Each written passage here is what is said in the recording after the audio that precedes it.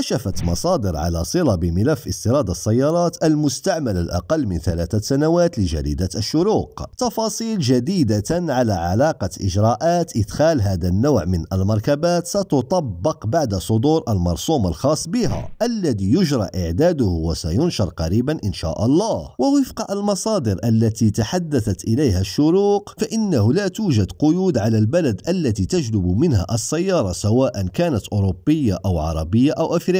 لكن أي عملية جلب مركبة وجب أن تتقيد تماما بالشروط القانونية والتنظيمية المعتمدة من طرف السلطات الجزائرية. ومن بعض هذه التفاصيل يمكنك شراء مركبة مستعملة أقل من ثلاثة سنوات من تونس أو ليبيا أو مالي أو أي دولة أوروبية أخرى. حتى إن لم تكن مصنعة للسيارة أي ليست بلد منشئ للمركبة. أما بخصوص الرسوم الجمركية التي ستطبق على هذا النوع من السيارات. وعلى سبيل المثال لو تم اقتناء سيارة مستعملة ب 10000 يورو فإن الرسوم التي ستطبق عليها تتراوح ما بين 20 إلى 25% أي ما بين 2000 إلى 2500 يورو ما يعادلها بالدينار الجزائري. ويتم احتساب قيمة الرسوم من طرف إدارة الجمارك وفق سعر الصرف الدينار الرسمي في البنوك وليس سعر السوق الموازي. وبذلك فإن رسوم السيارة قيمتها 10000 يورو في الخارج ستتراوح ما بين 30 إلى 35 مليون سنتيم. والحمد لله ربي وفقنا وقلنا هذه المعلومات قبل ما تقولها الشروق. واللي يبغي يتأكد يرجع للفيديوهات السابقة ويشوف كيفاش حسبنا سعر السيارة المستعملة مستوردة من فرنسا. وبخصوص الطريقة التي يتم بها تقييم سعر السيارة المستعملة لدى دخولها إلى الميناء من طرف أعوان الجمارك. المرجع المعتمد هو موقع L'Argus حيث يتم مقارنة السعر الوارد في فاتورة صاحب السيارة وسعرها المتوفر في الموقع.